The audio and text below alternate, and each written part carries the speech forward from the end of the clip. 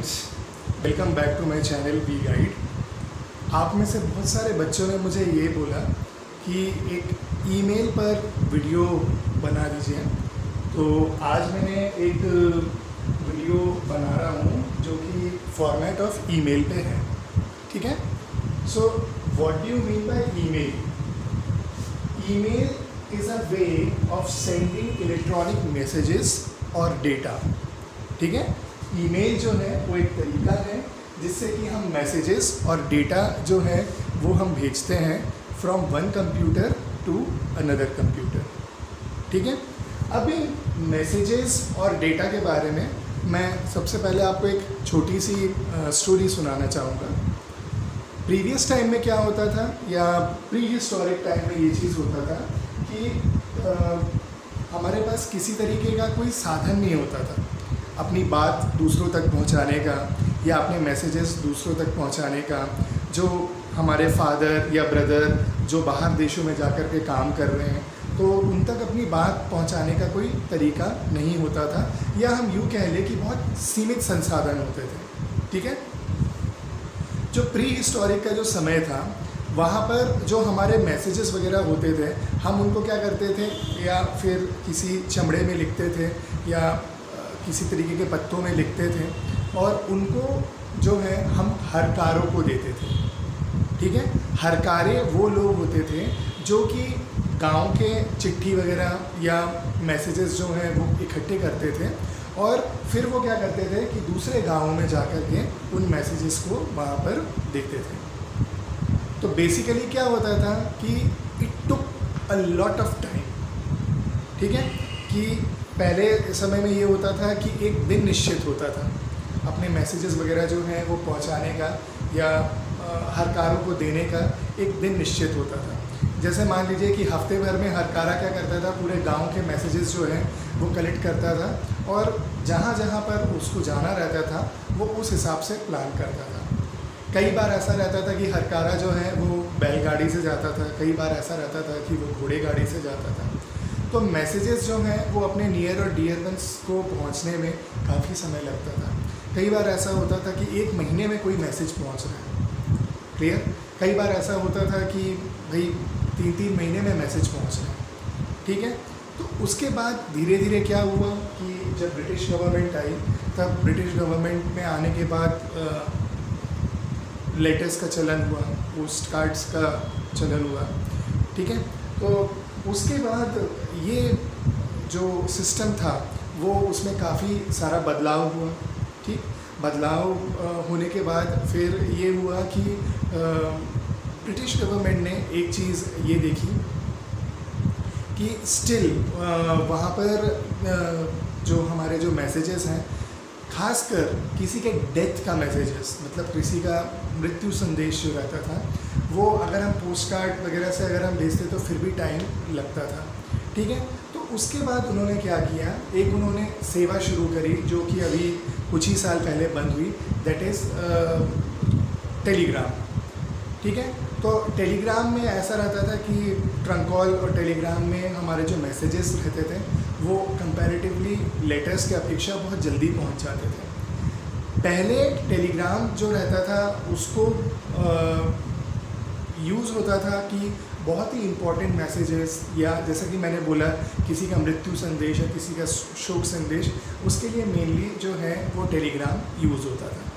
फिर धीरे धीरे समय चेंज हुआ, ठीक?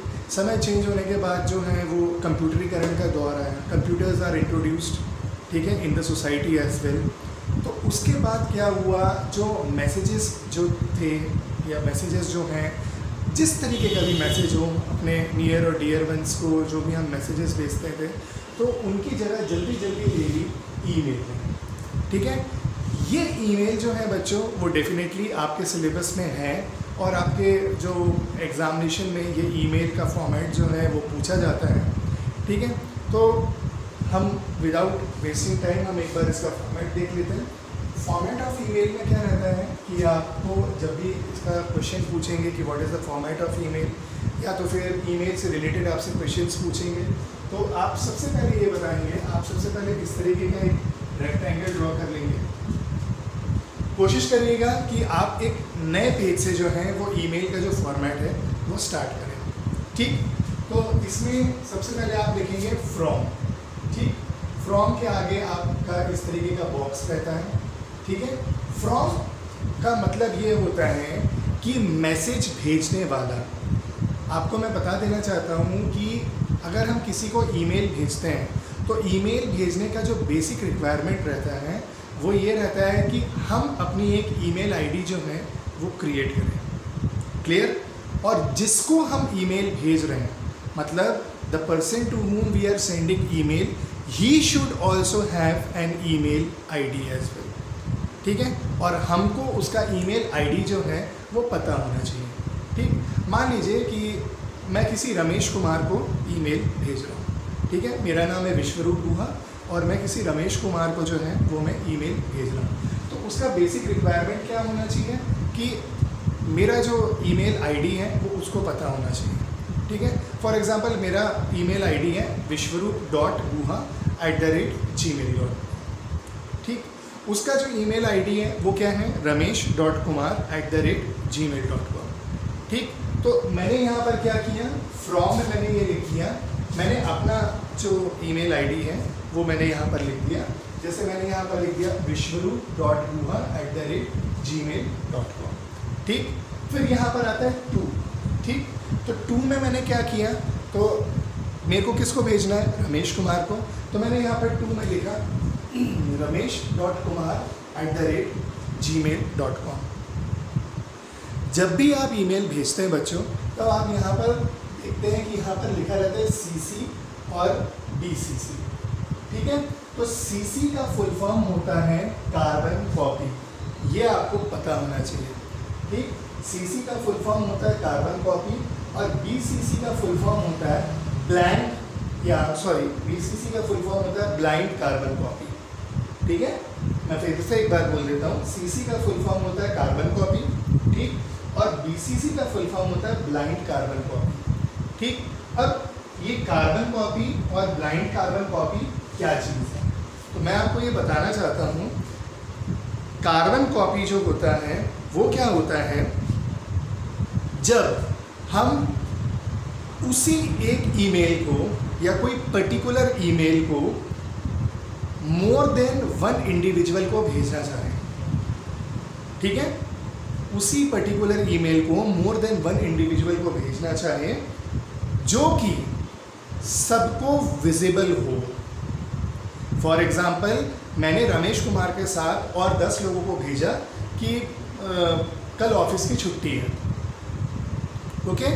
तो रमेश कुमार के साथ मैं नौ और या दस और ईमेल आईडीज को मैं लिखूँगा और जो मैं मैसेज भेजूँगा वो सबको विजिबल रहेगा। ये चीज़ आप लोग नोट कर लीजिए। ठीक? फिर आता है आपका blind carbon copy blind carbon copy जो है कि जब हम आ, ये चाहते हैं कि हमारा जो ईमेल जो है वो बेसिकली ये हो कि हम किसी पर्टिकुलर को जो ईमेल भेज रहे हैं, वो कोई दूसरा ना देख पाए। क्लियर विद दिस जैसे मान लीजिए कि हम पर्टिकुलर किसी को एक मैसेज हम भेज रहे हैं, या किसी को हम ईमेल भेज रहे हैं, और हम ये चाहते हैं कि हम जो दूसरा जो पर्सन है, जिसको कि हम वो कॉमनली वो ईमेल हम भेज रहे हैं, वो उस पर्टिकुलर मैसेज को नहीं देख पाए। तो इसका फुल फॉर्म या इसका डेफिनेशन मैं बता देता हूँ। कार्बन कॉपी में क्या होता है? We are sending more than one email to other individuals receiving the same mail with visible ID. इसका मतलब ये होता है कि जो भी दस लोगों को हमने भेजा, वो दस लोगों को ये पता होगा कि मेरे अलावा ये वाला जो ईमेल है, वो किस किस को गया है। जो ये मैसेज है, वो किस किस को गया है। ठीक है? ब्लाइंड कार्बन कॉपी में क्या होता है? Sending email to one or more individuals and the other individuals receiving the same mail with invisible IDs ठीक है? जो मैंने 10 लोगों को ईमेल भेजा है, वो 10 लोगों में से जिन जिन को भी ये, वो ईमेल गया है, वो ये देख नहीं पाएँगे कि ये पर्टिकुलर ईमेल जो है मैंने और किन किन लोगों को भेजा है।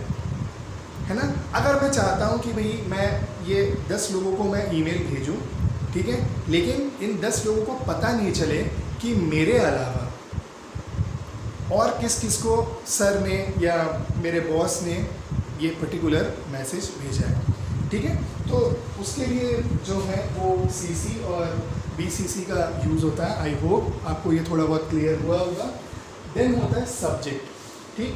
अब सब्जेक्ट में क्या रहता है कि बेसिकली हम ये लिखते हैं कि किस चीज़ से रिलेटेड जो है वो हम उस ईमेल को भेज रहे हैं। सब्जेक्ट सब्जेक्ट जो रहता है it is very important children ठीक है? सब्जेक्ट क्या रहता है कि वो एक्चुअली एक तरीके का हाइलाइटर होता है। फॉर एग्ज़ाम्पल मान लीजिए कि मेरे को ये अनाउंस करना है कि मेरा एक ऑफ़िस है तो मेरे को उसमें ये अनाउंस करना है कि भाई मेरे ऑफ़िस में पट, किसी पर्टिकुलर डेट में एक फ्री डेंटल चेकअप कैंप जो है वो मैं ऑर्गेनाइज करवा रहा हूँ। ठीक है? तो एक्चुअल में आ, मेरा सब्जेक्ट होना चाहिए regarding free dental checkup camp ठीक है? सब्जेक्ट जो रहता है वो बहुत ज़्यादा बड़ा नहीं रहता है। उसको हमेशा शॉर्ट एंड स्वीट होना चाहिए और उसका जो कंटेंट होना चाहिए वो हाईलाइटिंग होना चाहिए। ठीक है? सब्जेक्ट को पढ़ करके बेसिकली हमको ये अंदाज़ा हो जाना चाहिए कि अंदर में जो हम मैटर लिख रहे हैं, वो क्या है और किस चीज़ से रिलेटेड है। ठीक? देखिए मैटर जो है, उसमें हम लिखते हैं रिस्पेक्टेड सर या रिस्पेक्टेड मैम अगर कोई फॉर्मल ईमेल होगा तो हम उसमें लिखते हैं रिस्पेक्टेड सर या रिस्पेक्टेड मैम ठीक है? अगर कोई इनफॉर्मल ईमेल हो, होता है, जैसे हमको अपने फ्रेंड को भेजना है, या अगर हमको अपने पापा को भेजना है, या अगर हमको अपने ब्रदर सिस्टर को भेजना है तो डियर ब्रदर डियर सिस्टर ठीक है? फिर उसके बाद हम उसका मैटर लिखेंगे, फिर उसके बाद हम एक क्लोजिंग स्टेटमेंट लिख देंगे, ठीक है? जैसे अगर फॉर्मल ईमेल लिख रहे हैं तो रिगार्ड्स ठीक है? योर मैनेजर या योर एम्प्लॉय ठीक है? इस तरीके से हम लिख देंगे। उसके बाद बच्चों क्या रहता है? एक सेंड का ऑप्शन रहता है। आप कहीं पर भी ईमेल में देखेंगे तो एक सेंड का ऑप्शन रहता है। सेंड के ऑप्शन के बाजू में एक अटैच जो है फाइल्स का ऑप्शन रहता है। अटैच फाइल्स में क्या रहता है कि आप पर्टिकुलर किसी तरीके का इमेज भी भेज सकते हैं। या आपको कोई कटिंग भेजनी है, या कोई स्क्रीनशॉट भेजना है, कुछ भेजना है तो आप उसमें क्या करेंगे? अटैच जो फाइल्स हैं उसमें आप क्लिक करेंगे तो पर्टिकुलर वो फ़ाइल जो है, उसके साथ अटैच हो जाएगा। आपका यहाँ पर सब्जेक्ट में आपने सब्जेक्ट लिखा मैटर में आपने जो मैटर लिखा, उसके प्रूफ में या एविडेंस में या सपोर्ट में अगर आपने कुछ फ़ाइल अगर आपके पास है, आपके सिस्टम में अगर कोई फ़ाइल है तो आपने उसको अटैच कर दिया, फिर आपने सेंड का ऑप्शन दबा दिया। ठीक है? लगभग लगभग एक सेकेंड के अंदर जो है, वो आपका जो ईमेल है, वो पर्टिकुलर पर्सन जिसको आप भेजना चाहते हैं उस तक वो ईमेल पहुँच जाता है। ठीक है? चाहे वो वर्ल्ड में कहीं पर भी बैठा हो तो ईमेल जो है उसको विद इन सेकेंड्स जो है उसके पास पहुँच जाता है। ठीक है? दूसरी चीज़ कई बच्चों का ये क्वेश्चन रहता है कि सर ईमेल जो है वो आ, हम इनफॉर्मल मैसेजेस के लिए हम यूज़ करते हैं या तो फिर फॉर्मल मैसेजेस के हम के लिए हम यूज़ करते हैं? मैं ये बताना चाहता हूँ कि ईमेल जो होता है बच्चों वो हम फॉर्मल के लिए और इनफॉर्मल मैसेजेस दोनों के लिए यूज़ करते हैं। जैसा कि अभी मैंने बताया कि अगर हमको अपने फादर मदर ब्रदर सिस्टर को भी अगर ईमेल करना है, मान लीजिए कि मैं अमेरिका में बैठा हूँ, मेरे फादर जो हैं, वो इंडिया में बैठे हुए हैं, मैं उनको ईमेल कर रहा हूँ, किसी पर्टिकुलर कोई मैं उनको मैसेज देना चाह रहा हूँ तो मैं उनको ईमेल कर सकता हूँ। ठीक है? मान लीजिए कि मैं मैनेजर हूँ, मुझे अपने बॉस को या मुझे अपने अंडर जो एम्प्लॉयज़ हैं, उनको अगर मेरे को पर्टिकुलर कोई मैसेज भेजना है तो मैं फॉर्मली वो मैसेज जो है, मैं भेज सकता हूँ। ठीक है? तो आई होप मेरा ये एक्सप्लेनेशन जो है रिलेटेड टू ईमेल वो आपको समझ में आया होगा। अगर आप बोलेंगे तो नेक्स्ट क्लास में हम कुछ इससे रिलेटेड जो हैं, वो क्वेश्चन आंसर्स हम डेफिनेटली डिस्कस कर लेंगे। अगर आपको मेरा ये एक्सप्लेनेशन समझ में आया होगा तो please like and subscribe my channel